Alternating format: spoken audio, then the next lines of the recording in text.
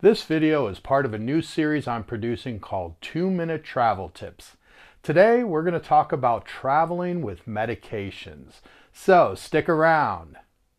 Hey there, Ralph Velasco of the Continental Drifter where I share simple but powerful tips designed to make your travels easier and more interesting and your photography even better.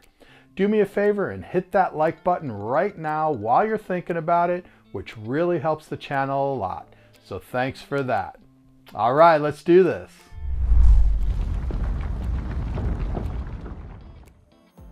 As we get older, we often need to take medications to maintain our health.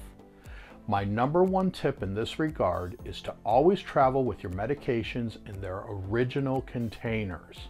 Understandably, some of us like to have our medications portioned out in a weekly dispenser for ease of use, which makes complete sense but always have the original containers with you. As a backup to the original containers, you should also have hard copies and e-versions of each prescription. Just in case you're questioned upon entry to a new place or you need to get a refill while traveling. Pharmacies are prevalent around the world and can often easily be recognized by their green neon signs, usually in the shape of crosses. Most of the staff at the pharmacies I visited around the world, from Portugal to Cambodia and India to Morocco, have spoken at least some English and it was easy enough to get my point across, especially if I had my prescriptions in their original containers and could just hand those over for a refill. Always carry with you at least 50% more medication than you think you might need. And this is just in case your trip gets extended for some reason.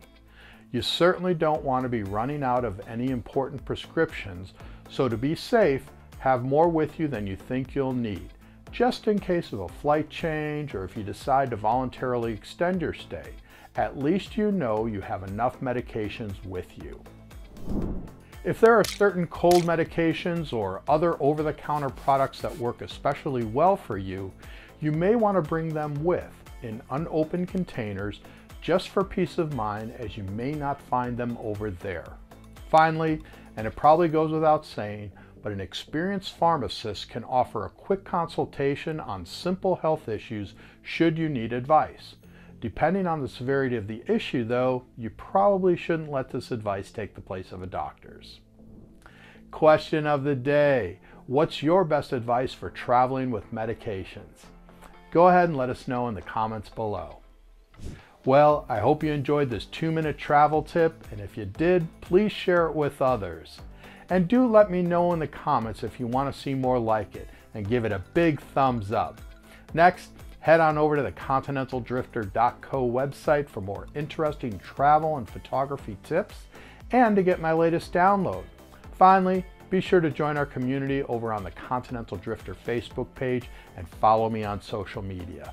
And remember, drifters, Life's too short not to travel.